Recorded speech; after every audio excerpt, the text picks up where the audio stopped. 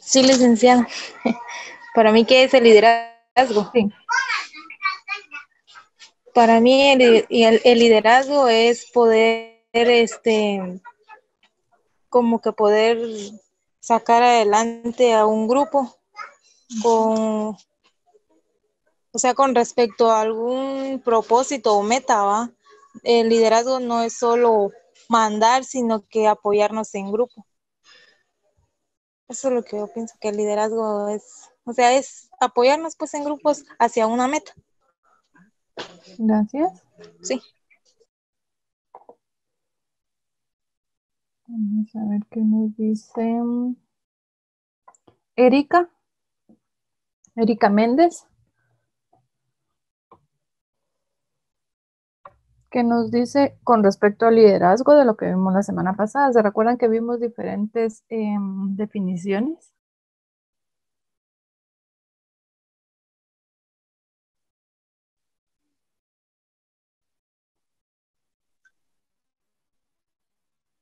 Eh, buenas tardes, licenciada. Buenas tardes.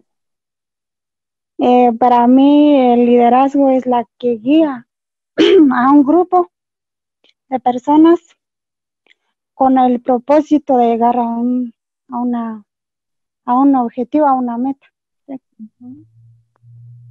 Gracias. Delmi Morales. ¿Se recuerdan que teníamos em, dos preguntas dentro del contenido anterior?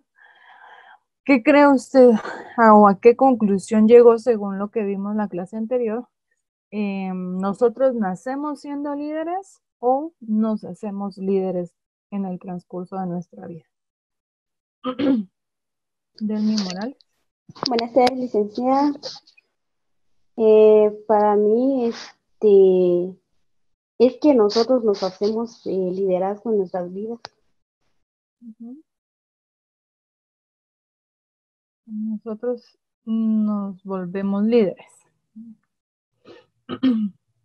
Vamos a ver, Dora Nelly, ¿qué me puede decir? ¿Nosotros nacemos siendo líderes o nos hacemos líderes? Según lo que vimos en la clase anterior. Perdón, enseño cómo fue la pregunta. ¿Nosotros nacemos siendo líderes o nos hacemos líderes? Las Según lo que vimos en la clase anterior. Las dos cosas, nacemos y nos hacemos. Con base, yo creo que nosotros, por ejemplo, como seres humanos, tenemos ciertas cualidades y una de ellos, pues, es ser líder. El ejemplo de un niño va, cuando van a jugar, siempre va a haber uno que va a coordinar y va a decir cómo, cómo hacer el juego. Entonces nacemos. Y a veces también cuando no se nos da eso, eh, a través de, de lo que vayamos viviendo, nos vamos haciendo también. Entonces son las dos. Gracias.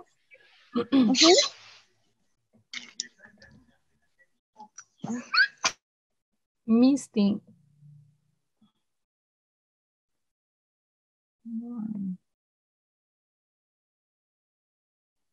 Misty Ramírez.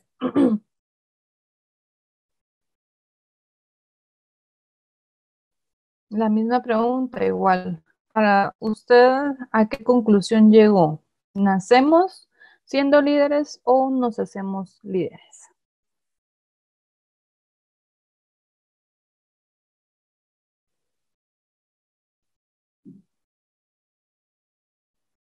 Misty.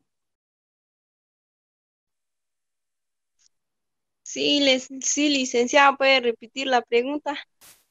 ¿Nosotros nacemos siendo líderes o eh, nos hacemos líderes? En mi caso mío, este, sí nacemos líderes porque en mi caso mío, este, cuando un niño o una niña, este, va a hacer un juego, entonces uno tiene que ser, este, el, el ejemplo, cómo, este, hacer el juego, cómo hacer, este, algún tipo de actividades. Gracias. Merlin se recuerda de unas teorías que hablamos la semana pasada con respecto al liderazgo. ¿Cuáles fueron esas teorías que nosotros vimos la semana pasada?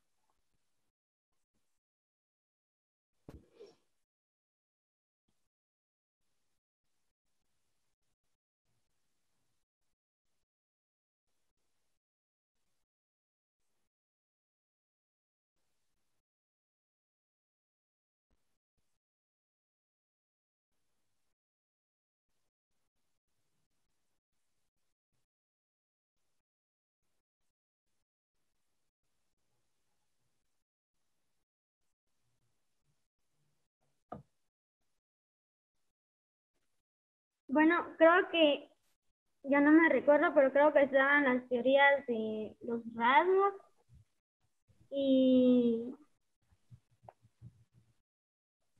y las teorías del comportamiento. La verdad no me acuerdo, licencia. Gracias. Pamela.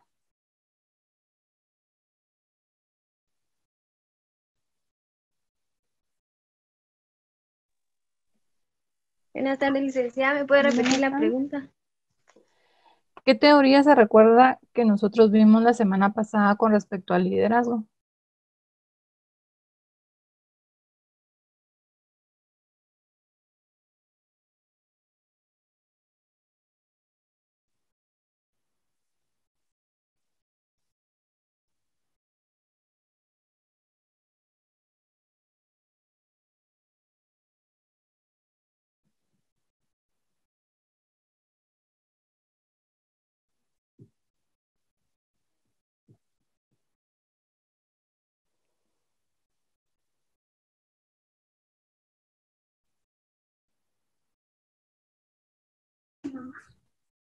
¿Le puedo responder la pregunta, licenciada?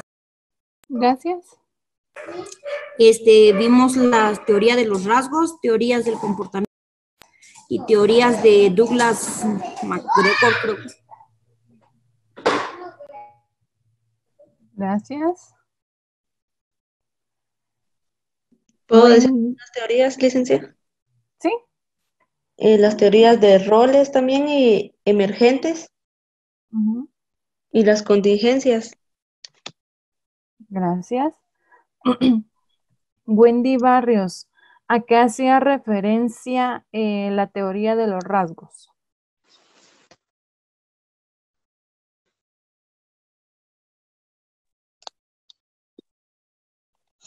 Buenas tardes, licenciada. Buenas tardes.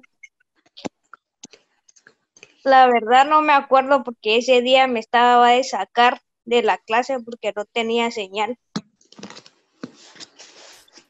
Cuando sea así, recuérdense que debemos de ponernos al día. Eh, también la semana pasada no se conectaron algunas personas, espero que se hayan puesto al día.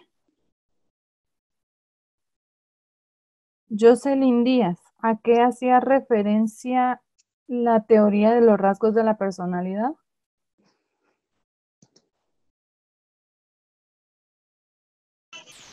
Igual, licenciada, ese día estaba viendo bien fuerte acá y me estaba sacando mucho de la clase. No, no escuché muy bien. Ana Hernández.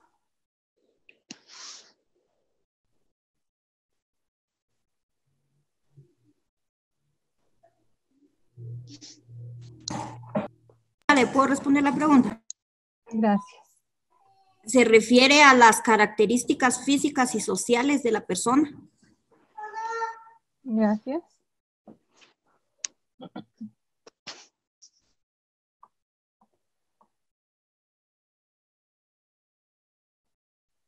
Jamie, ¿me puede responder a qué hace referencia la teoría del comportamiento?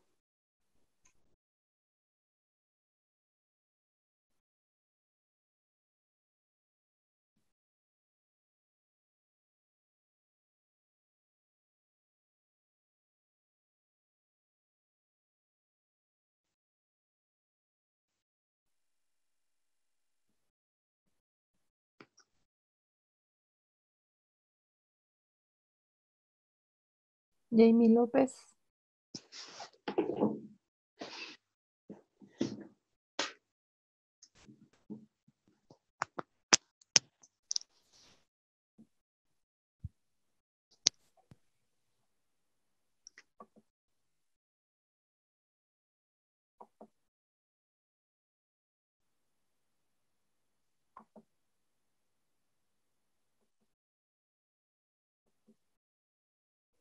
Odalis Orozco, por favor.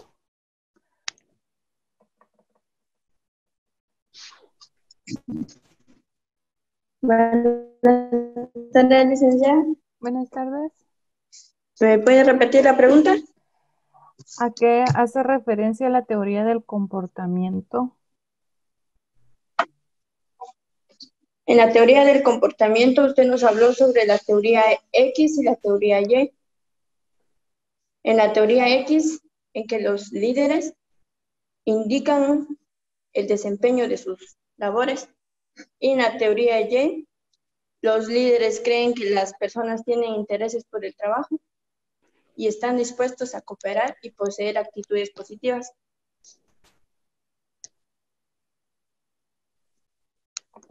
Gracias. Licenciada, una, ¿no es la del comportamiento donde el líder trata de influir en los grupos? Sí, tenemos diferentes teorías. Regresando, hablaríamos sobre em, liderazgo. El liderazgo sabemos de que es la forma de cómo el líder va a influir en el grupo para que puedan lograr eh, el objetivo en común. Eh, vamos a ver que van a haber diferentes tipos de líderes, pero también hay teorías que a nosotros este, nos dan ciertas pautas de lo cual podría ser un líder. Como por ejemplo la teoría de la personalidad o de los rasgos de la personalidad, donde hablábamos que existían ciertos rasgos, em, ya sea físicos, de conocimiento, personalidad, inteligencia, que nos podría decir a nosotros que una persona es líder. Dentro de los rasgos físicos podríamos decir la presentación que vaya a tener una persona, cómo viste, eh, también podríamos eh, hablar con respecto a la apariencia, aspectos sociales, cómo se va em, esta persona, cómo va a ir socializando. Eh, hablábamos que un líder por lo general va a ser una persona muy sociable, va a ser una persona muy amigable, va a tener esa personalidad que lo va a caracterizar, que va a ser muy entusiasta, que va a animar siempre al grupo. En las teorías de comportamiento hablábamos cómo el líder puede influir en los demás integrantes del grupo.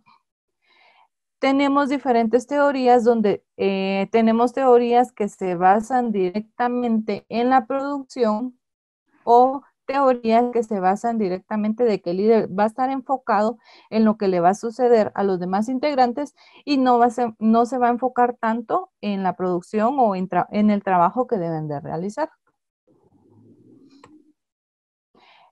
Aquí este, veíamos unas gráficas de cómo nosotros podíamos este, tratar la manera de equilibrar no solamente eh, pensar en el trabajo o enfocarnos directamente en el trabajo, sino también en las necesidades de los trabajadores. Ahora nos corresponde ver teorías de contingencia. Estas teorías van a ser aquellas em, que se van a dar en base a una situación de emergencia que pueda suceder.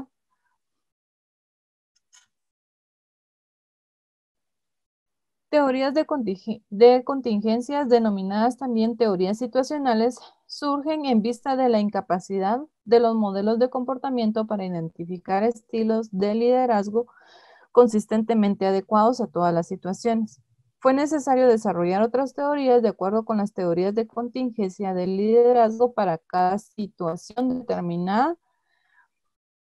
Eh, las cuatro teorías de contingencia del liderazgo más influyentes son las que vamos a ver a continuación.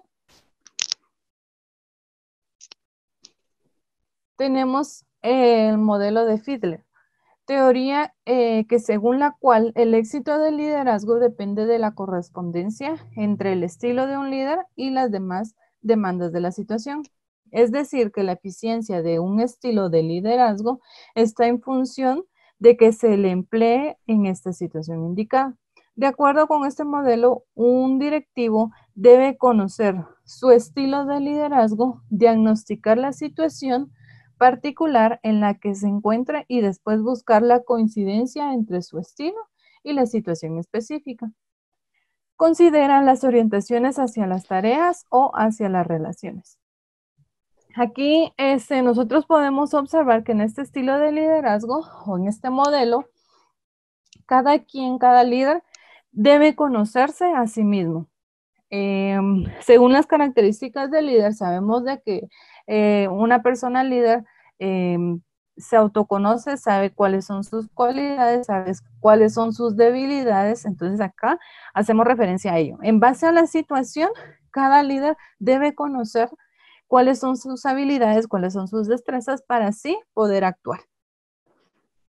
Podríamos colocar acá un ejemplo. Cuando a ustedes em, les dejan un trabajo en grupo, sabemos eh, de que algunas personas son habilidosas para exponer, otras personas dicen, no, yo voy a hacer el trabajo porque a mí se me facilita más escribir, otras personas, yo hago los carteles, entonces cada quien, aquí estamos hablando de que cada quien conoce su estilo de liderazgo, es decir, sus cualidades, y luego las ponen en práctica o tratan la manera de acoplarlas en base a la necesidad que se esté viviendo en ese momento.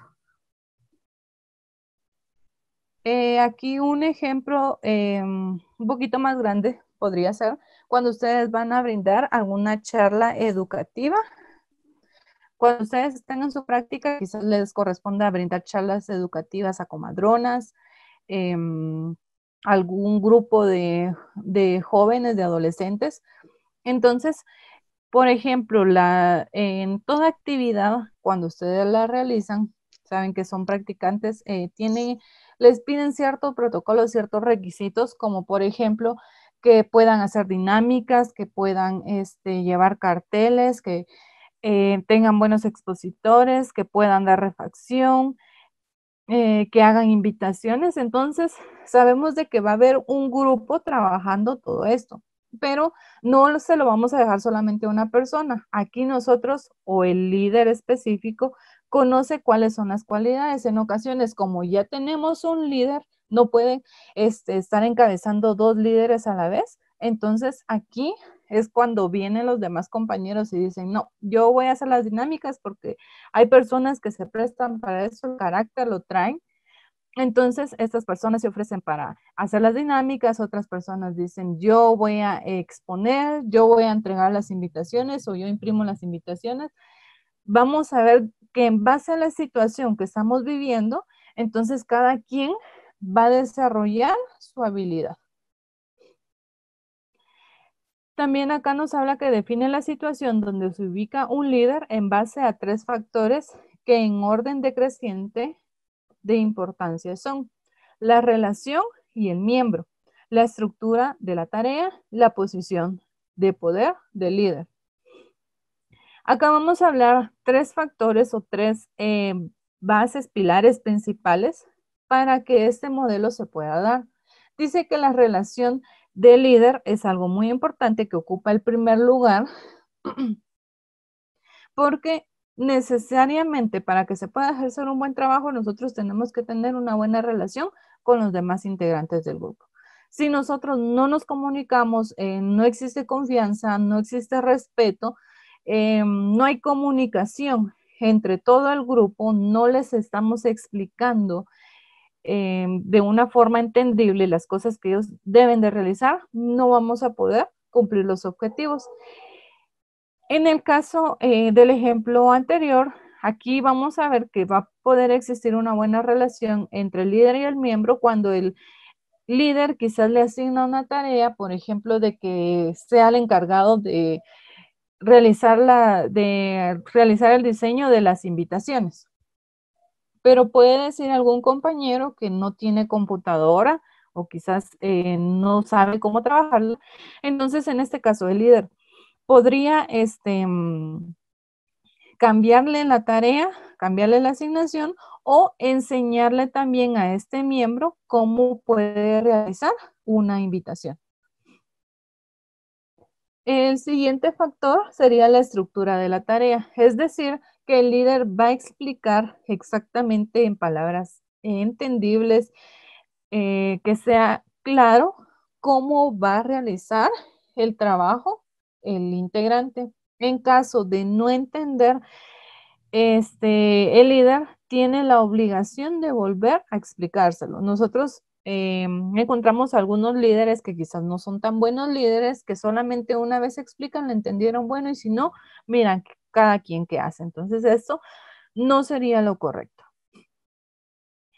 Eh, aquí vamos a ver que la estructura eh, de la tarea va a ser firme porque ya el líder tiene todo escrito, todo detallado, cómo se va a realizar cada tarea. Luego tenemos la posición de poder del líder. Es el grado legítimo que otorga la organización al líder para dirigir a sus subordinados, es decir, cómo se va a ganar el líder esta posición, qué tanto poder va a tener el líder sobre el grupo. Este em, poder sabemos que se lo va a ganar em, si el líder realiza un buen trabajo, no solamente por el simple hecho de llamarse líder, van a respetar a esa persona.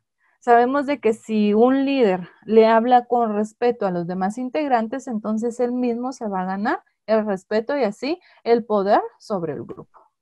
Licenciada, una observación en la diapositiva anterior. Sí. Según en mi conocimiento, primero el líder, donde dice posición de poder el líder, la posición se gana en base al conocimiento, no solo porque fue nombrado líder. Ahí es donde el líder tiene que demostrar las capacidades intelectuales, físicas y de todo un líder para poder obtener la confianza y la lealtad y respeto de los subordinados. En base a la confianza, la lealtad y respeto de los subordinados, viene la base de la estructura de las tareas donde va a poder con confianza exigir, aclarar y apoyar a los subordinados en cualquier tarea. A mi manera de pensarlo y mi forma de experiencia en esta situación, no sé si estoy bien o mal.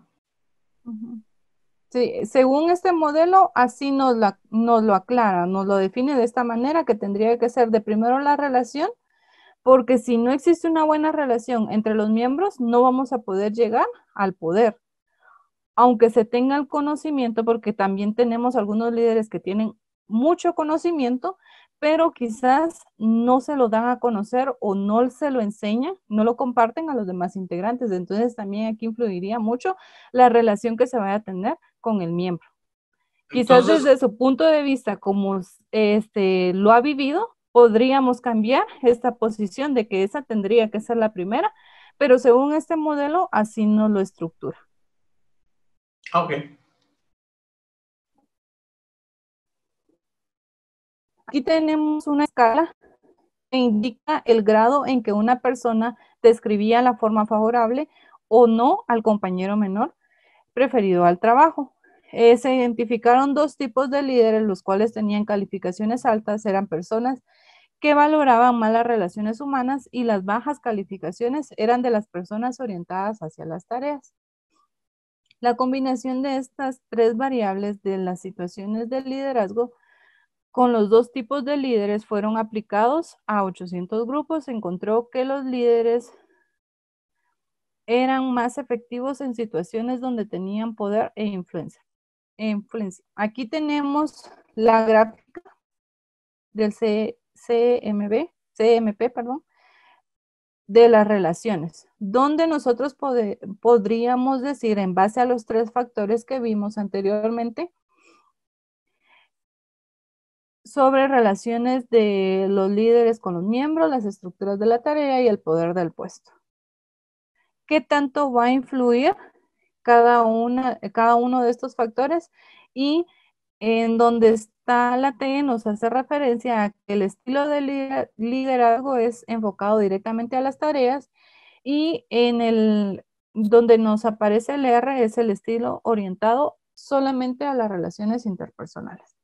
Nosotros no nos enfocamos tanto en estas tabletas, solo es para que ustedes las conozcan porque ustedes no las van a aplicar en los servicios de salud. Luego tenemos otro modelo que es el modelo Ruta Meta, formulado por Evans y House, y también busca pronosticar la eficacia del liderazgo en diferentes situaciones. se fundamenta en la teoría de las expectativas según la cual el nivel de motivación de un individuo depende de su expectativa de recompensa y del atractivo de esta última. Según esta teoría, el líder eficaz y motivador debe establecer y comunicar los objetivos, ofertar recompensas valiosas para sus subordinados y despejar la ruta que permite alcanzarlas suministrando ayuda constante. Aquí en este modelo ruta meta, es decir, hacia dónde va el grupo, cuáles son los objetivos. En el caso de nosotros sería eh, brindar un buen servicio, brindar una buena atención a los pacientes, cómo eh, o qué nosotros vamos a recibir a cambio, quizás sea em, una remuneración económica porque nos pagan porque nosotros atendamos a los pacientes, pero aquí no nos enfocamos nosotros tanto en lo económico. La mayoría del personal de salud sabemos que no recibe muy buenos sueldos, entonces em, nos vamos a enfocar en el producto de nuestro trabajo, que sería la satisfacción del paciente, y nosotros no vamos a estar tan enfocados en la remuneración económica. Sabemos de que sí es necesaria, pero no nos vamos a enfocar tanto en eso, en comparación de otras eh, situaciones como por ejemplo los vendedores. Los vendedores eh, sabemos que reciben cierta eh, ganancia, cierto porcentaje sobre ventas, pero va a variar dependiendo de la situación que nosotros estemos eh, trabajando o en el lugar donde nosotros estemos laborando. Aquí nos habla de algo muy importante que es la motivación. En base a la motivación, ¿qué tan bien motivado está el grupo puede que logre sus objetivos? Si nosotros encontramos eh, a un grupo desmotivado desmoralizado, entonces este grupo no va a trabajar bien, entonces no va a lograr el objetivo que se tenía planeado.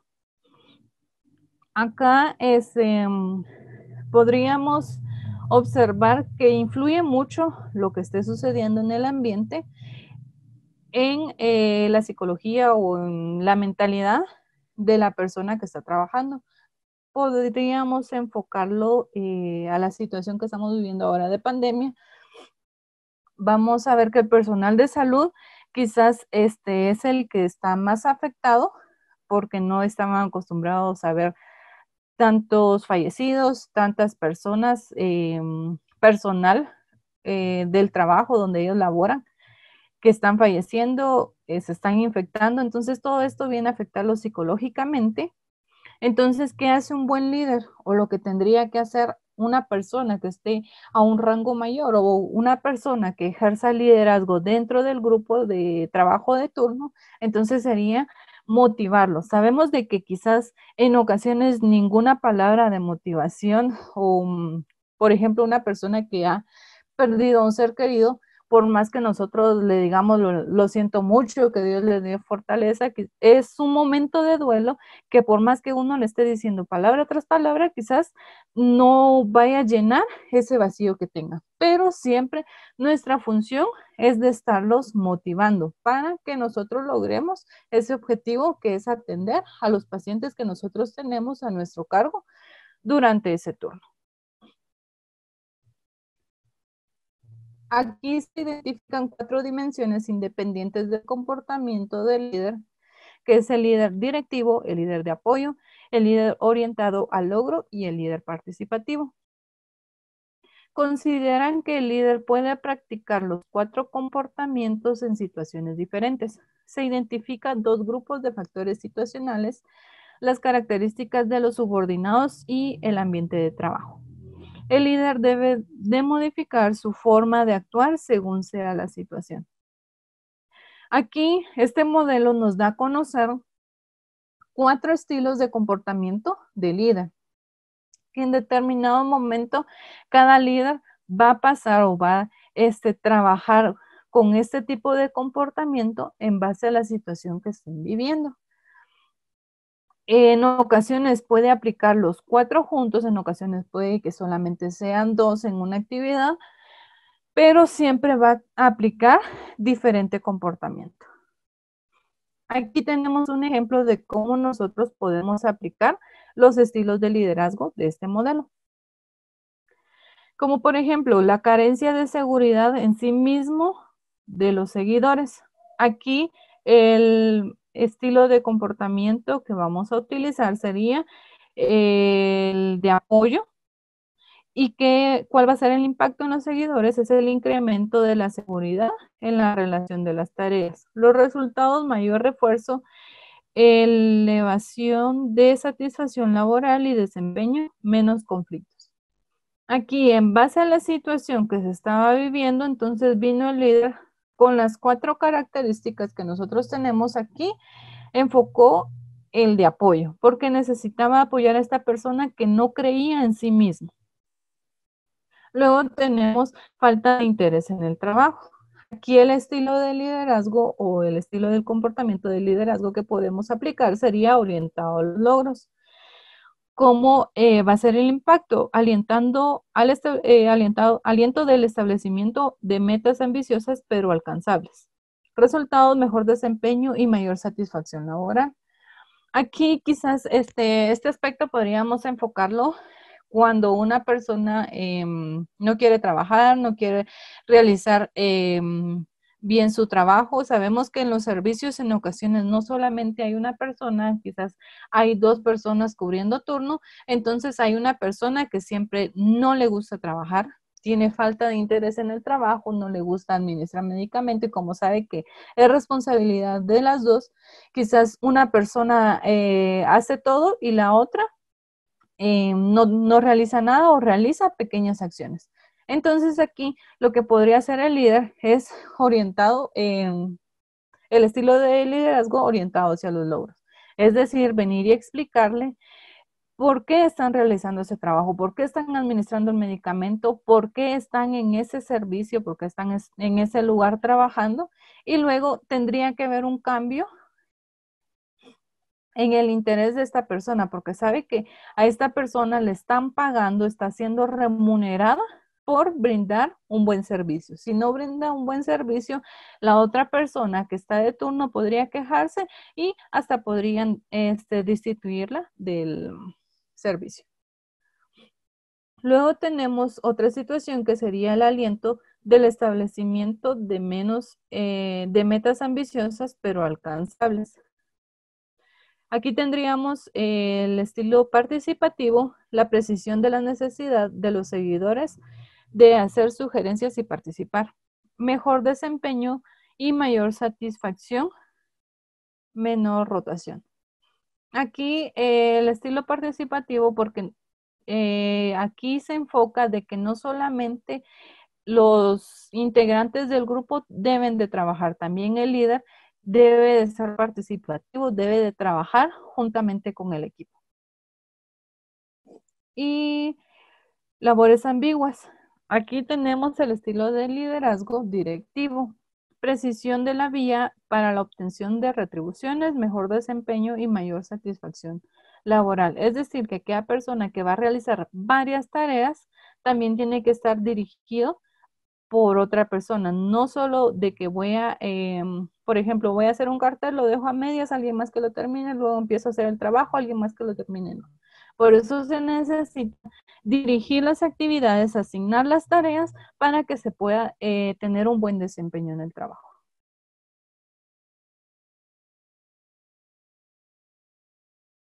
En este modelo es posible determinar el, alto o bajo comportamiento del líder hacia la tarea y hacia la relación. La conducta del líder es asociada a uno de los cuatro tipos, comunicar, vender, participar o delegar. Este es otro modelo de liderazgo donde nosotros vamos a observar cuatro conductas de los líderes.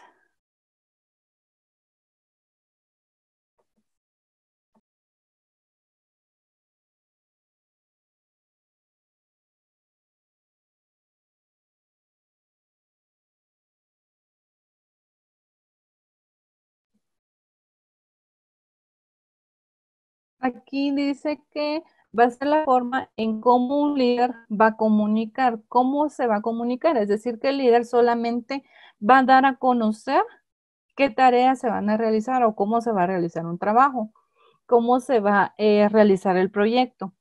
En este caso, esta persona no solamente está mm, eh, está siendo autocrático porque no permite la mm, participación de alguien más, sino nadie más este, tiene derecho a opinar.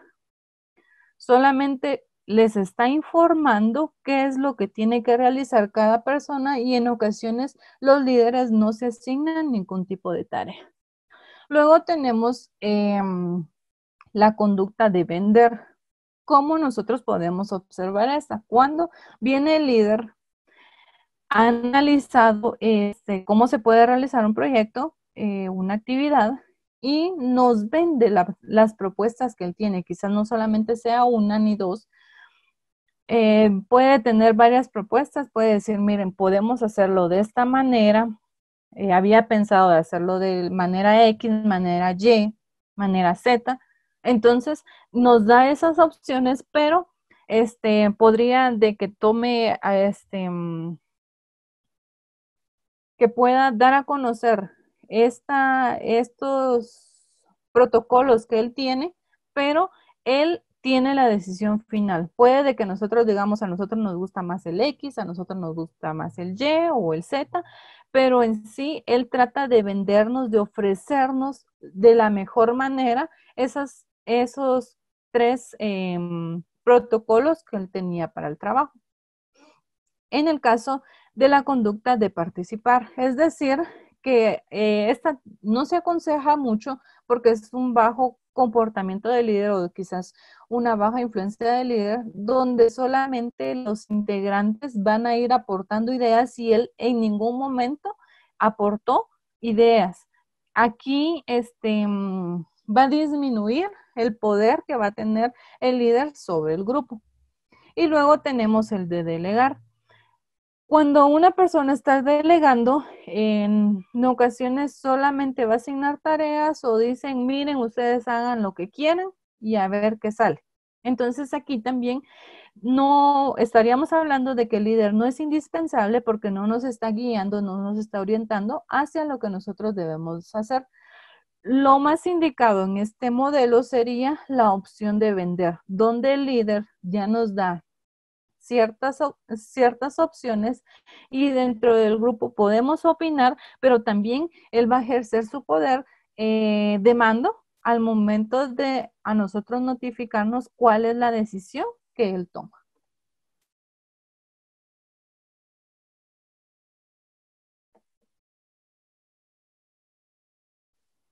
Acá podemos ver la gráfica. Acá tenemos la conducta de la relación y la conducta de la tarea.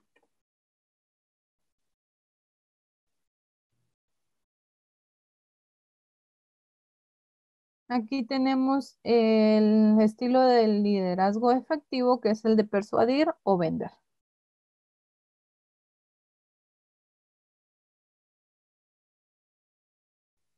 Luego tenemos la teoría de roles.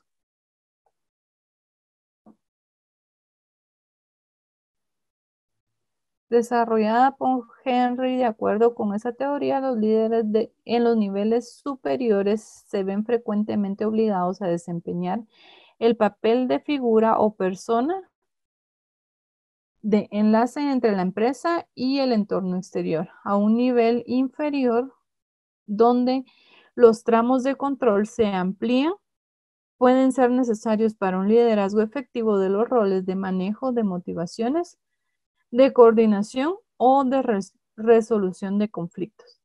Acá nosotros vamos a observar que cada persona dentro de un grupo va a tener o va a desempeñar diferente papel, va a tener diferente objetivo, va a tener diferente asignación. Entonces a eso hace referencia este método de roles, donde es necesario para que nosotros podamos ejercer un buen trabajo que nosotros manejemos nuestras emociones estemos em, siempre bien motivados, con este, entusiasmados para que nosotros no nos compliquemos al momento de que estemos realizando un trabajo, para que no tengamos también ciertos conflictos o ciertos roces con los compañeros. Como por ejemplo, si nosotros le asignamos em, realizar los carteles quizás a dos personas o tres más, entonces aquí vamos a ver que solamente unas personas van a trabajar, otras personas no van a trabajar. Y en ocasiones una persona dice, miren, yo me llevo el cartel y lo traigo el día de la exposición. ¿Y qué pasa ese día de la exposición? No lleva el cartel. No solo no trabajó y no pudo cumplir con pequeñas asignaciones dentro del grupo. Entonces, eh, sí tienen que estar muy bien definidos los roles y la responsabilidad de todos los integrantes para que no tengamos conflictos. Luego tenemos las teorías emergentes. Son patrones de liderazgo basado en el supuesto de ciertas características físicas y sociales. Eh, que son inherentes a los líderes. Es decir, que estas características nadie se las puede quitar al líder o a los integrantes. Ya vienen con esas características, por eso hablábamos a un inicio de que eh, se nace siendo líder y también se mm, aprende a ser líder. Las características que nosotros traigamos del liderazgo, nadie no las puede quitar. Entonces, aquí se enfoca esa teoría emergente de que son inherentes, nadie se las puede quitar, no se las podemos pasar a alguien más porque en ocasiones eh, también tenemos eh, dentro del grupo personas que tienen mucho conocimiento, pero que se les dificulta darlo a conocer, eh, que son muy tímidas y nosotros quizás seamos muy extrovertidos, no podemos pasarle esa característica a la persona que quizás tiene el conocimiento. Tenemos la teoría de los atributos o cualitativa. Establece que el juicio de los líderes sobre cómo tratar con los subordinados en una situación específica se basa en las cualidades de las causas internas o externas del comportamiento de sus seguidores. Aquí nos hace referencia a que si una persona tiene alguna dificultad al momento de realizar su trabajo puede deberse a causas internas o a causas externas. Como por ejemplo, em, podríamos decir que una persona no puede exponer bien o tiene la exposición porque también en exposiciones hemos visto mucho esto, de que hay personas de a última hora les están entregando las diapositivas que les corresponde exponer. No una buena organización anteriormente, quizás em, ya cuando están al frente le dicen, mira, te toca la eh, diapositiva 1, 2 y 3, al siguiente la 3, 4 y 5 y así sucesivamente. Cuando ya están ahí al frente, no saben eh, qué decir. Pueden leer el contenido, pero como no habían estudiado, entonces no saben ni qué decir. Este caso podría ser un factor externo que le puede afectar porque fue que no le entregaron las diapositivas eh, con anticipación. Un interno porque de ella no salió, de esa persona no salió, venir y estudiar todo el contenido porque sabía que iba a ser la persona que iba a exponer, tenía que estar preparada. Entonces, cualquier, eh, cualquier situación va a depender tanto de factores internos como de externos una persona quizás este, vaya a llegar de malas al servicio, puede que sea un factor interno o puede que sea un factor externo. Un factor interno podría ser de que mm, esta persona tenga algún problema familiar y que sea muy grave, que no, porque nos dicen, ¿verdad? Nosotros si tenemos problemas, por favor, dejarlos en el portón y no ingresar con esos problemas. Quizás este factor fue demasiado eh, complicado para ella, es algo muy grande y tiene ese problema en la cabeza. Entonces esto va a venir que esté de malas, em, que no pueda realizar sus tareas eh, correspondientes, que tenga ciertos roces con el grupo, pero estos van a ser causas internas. Pueden ser causas externas, que ella haya llegado con el mejor humor, del mundo, pero ¿qué pasa? Eh, quizás los compañeros del grupo del turno anterior no le hayan este, entregado el turno bien, hayan dejado muchas cosas pendientes. Eh, quizás en ocasiones puede suceder de que entregan supuestamente a un paciente vivo y había fallecido. Entonces, estas son causas externas que van a venir a afectar el comportamiento de una persona. Luego tenemos la teoría transaccional. Supone que ciertos líderes pueden desarrollar la habilidad de inspirar en sus subordinados el que lleven a cabo esfuerzos extraordinarios para la consecución de metas organizacionales debido a la visión y la capacidad del líder de aprovechar las necesidades de desarrollo. El líder transaccional comienza definiendo los objetivos que espera de los subordinados, otorga un feedback positivo, elogio o negativo reprimenda, según alcance o no los objetivos. El feedback ayuda a el aprendizaje y proporciona un incentivo para que el subordinado se esfuerce en dirección adecuada. Este tipo de liderazgo a veces termina fomentando un culto a la personalidad en unos pocos elegidos. Aquí hacemos referencia, hablamos con respecto a teoría transaccional, a cómo va a influir el líder en los subordinados y en los demás integrantes. Va a depender mucho del líder que también se vayan a desarrollar o no los integrantes. Aquí nos hace referencia de que nosotros debemos de aceptar nuestros errores porque sabemos que todos cometemos errores, pero hay personas que no aceptan los errores. Vamos a ver, em, ya cuando ustedes estén en la práctica, los digo por eh, experiencia, algunos compañeros no realizan eh, correctamente los procedimientos, como por ejemplo al momento de administrar medicamentos. Al momento de administrar nosotros los medicamentos dice que para que nosotros podamos administrar un medicamento debemos de saber los correctos, debemos de sabernos las tres lecturas y de aplicar los tres yo. Es decir, que yo tengo que saber que sea mi paciente correcto, el medicamento correcto, la hora correcta, dosis correcta, vía de administración correcta, aguja y jeringa correcta. Tengo que aplicar todos los correctos. Si yo no aplico todos los correctos, puedo estarle administrando el medicamento a otro paciente, porque en ocasiones tenemos pacientes que se cambian de cama, se cambian de unidades. Si yo no llego y le pregunto el nombre, también algo muy importante, nombre completo, porque, por ejemplo, Juan Pérez, pueden haber hasta cuatro en el servicio, pero si nosotros tenemos el nombre completo de esta persona, no, va a haber alguna equivocación. Si yo ya apliqué los correctos, también tengo que aplicar mis lecturas. Las lecturas dice que son de que yo debo de leer el medicamento al momento de sacarlo del botiquín, al momento de estarlo cargando, al momento de que yo regrese mi medicamento al botiquín o lo descarte.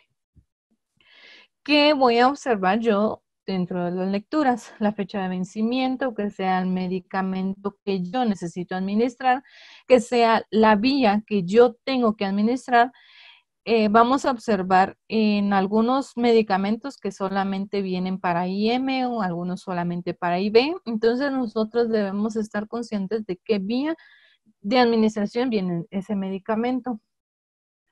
En ocasiones podemos encontrar complejo que nosotros estamos acostumbrados para ver en vía intramuscular e IM. Hay laboratorios que solo lo trabajan para vía intramuscular. Y si nosotros este, administraríamos ese medicamento por otra vía, estaríamos actuando mal.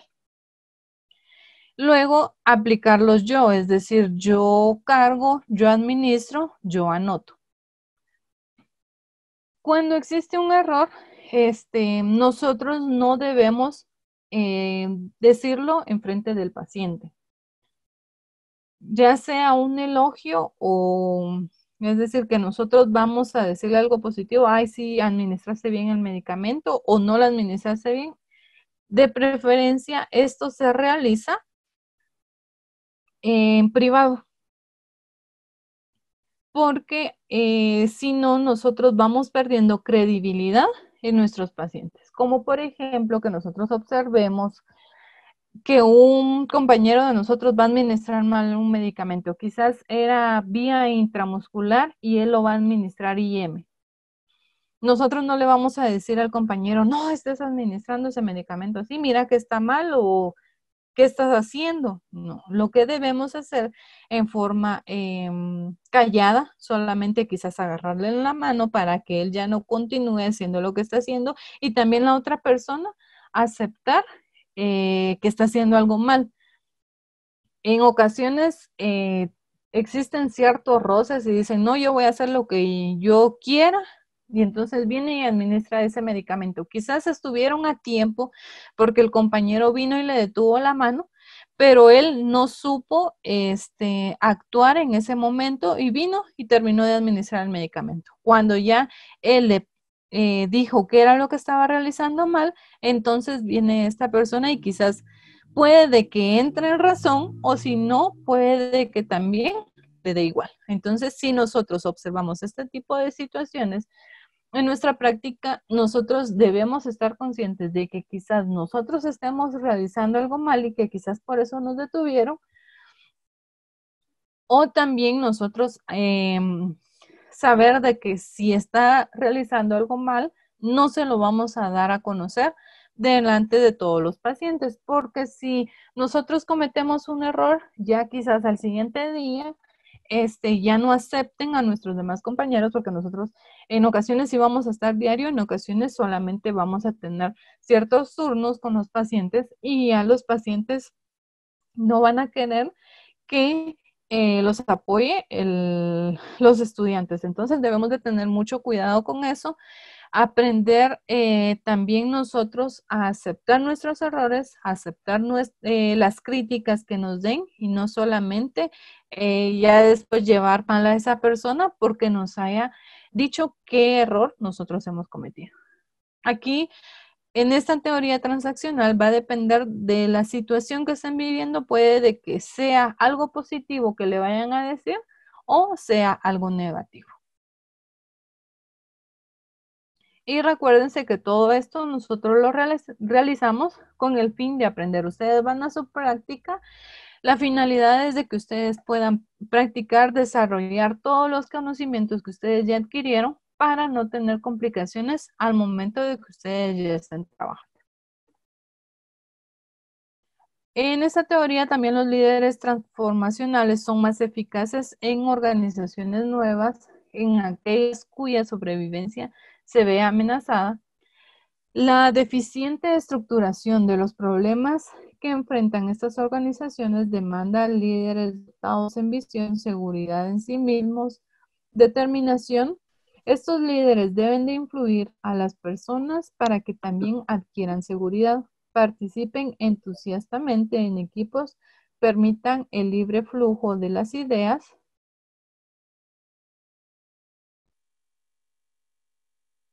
acerca de lo que se propone lograr. No obstante, este liderazgo parece, padece algunos inconvenientes al tener demasiados seguidores apasionados que corren el riesgo de perder la, de vista las condiciones que rodean a su líder en movimiento.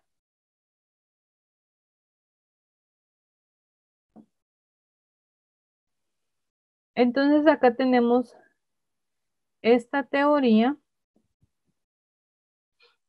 eh, que siempre en la teoría transformacional, eh, los líderes siempre van a influir en los demás integrantes. Puede que también los integrantes se vean amenazados por su líder en base a cómo se va a presentar este líder, que quizás qué tan estricto vaya a ser, o quizás también eh, vayan a tenerle confianza a su líder. El líder siempre debe influir de manera positiva. Nunca debería de influir de manera negativa.